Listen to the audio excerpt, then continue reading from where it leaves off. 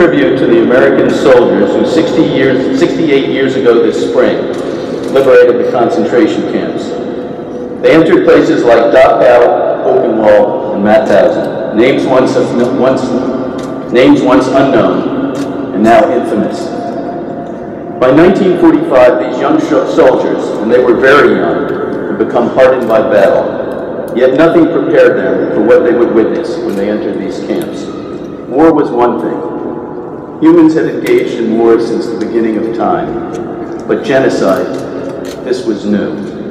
Ladies and gentlemen, please rise for presentation of the flags of the United States Army Liberating Divisions.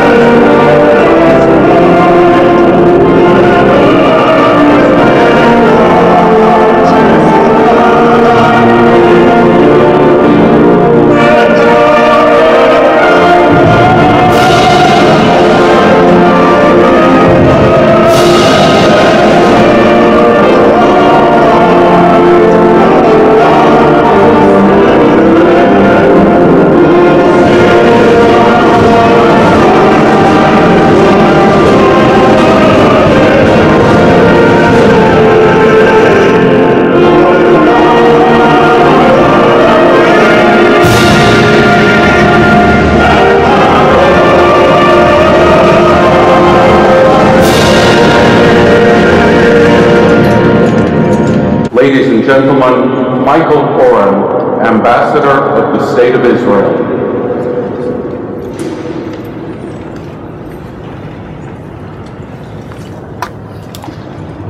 Thank you, Tom. Mr. Majority Leader, Madam Democratic Leader, honorable legislators, distinguished members of the Diplomatic Corps, veterans, liberators, survivors of the Holocaust. Three weeks ago, on March 22nd, I had the honor of accompanying President Barack Obama on his first presidential trip to the state of Israel. In Jerusalem, atop Mount Herzl, which is our equivalent of Arlington National Cemetery, I watched as the president laid a wreath at the gravesite of Prime Minister Yitzhak Rabin, who gave his life in the struggle for peace. But the president also laid a wreath at the tomb of Theodore Herzl, founder of the Zionist movement and author of the book, The Jewish State. That act was laden with significance. At a time when millions still deny that a Jewish people exists and has a millennia-long connection to the land of Israel, the president's wreath reaffirmed the Jewish people's right to self-determination in our ancient homeland. Ladies and gentlemen, Sarah Bloomfield, Director of the United States Holocaust Memorial Museum. We are delighted today to gather to remember with so many distinguished guests among us. Today, of course, we remember first and foremost the victims, the millions of innocent men, women, and children murdered solely for who they were. And of course, today we honor the survivors whose survival came with a promise, the promise to remember, Ladies and gentlemen, Eli M. Rosenbaum, Director of Human Rights Enforcement, United States Department of Justice. Members of Congress, Ambassador Oren, Chairman Bernstein, Vice Chairman Bolten, Director Bloomfield, cherished survivors of the Holocaust, and other distinguished guests. For more than three decades now, my colleagues and I at the United States Department of Justice have been deeply privileged to pursue justice on behalf of Jewish victims of the Holocaust and also on behalf of victims of Nazi crimes committed against other groups. But the Holocaust and justice aren't justice and the Holocaust almost polar opposites? After all, the Holocaust was arguably the most terrible injustice ever perpetrated. Worst of all, it was a lethal injustice.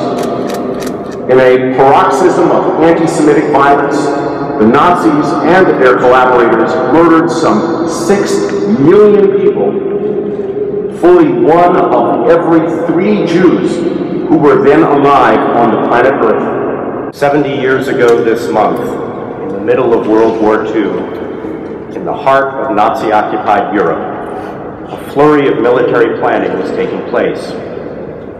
Strategies were intently discussed and weapons readied for battle. This was not the well-armed Germans.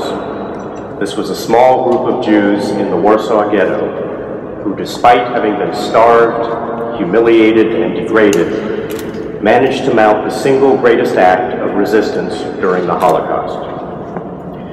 Launched on April 19, 1943, the uprising stunned the Germans, initially forcing their retreat. Ultimately, the ghetto fighters held out for more than a month. They knew their odds were small, but they fought for their dignity as much as for their lives. Those defiant fighters whose meager Molotov cocktails took on the military might of the Nazi war machine, won an important symbolic victory for courage and nobility of purpose. And they inspired resistance in places such as Minsk and Bialystok, and even Treblinka and Sobibor.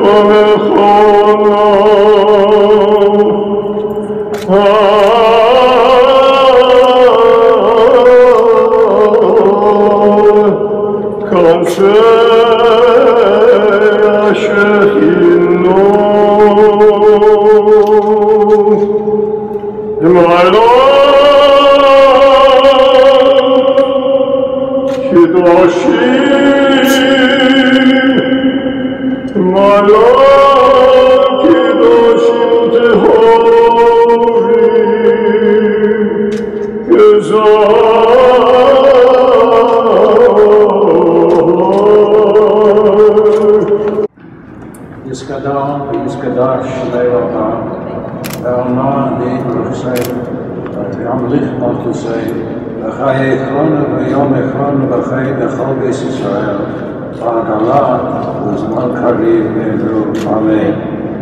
יהי שמרה והמבורך לעולם ולעולמי עלמיה, יסברך וישתבח וישמעה וישרמן וישנשא, ויסעדה ויסעלה ויסעלה, שמי לקדושו ולכו.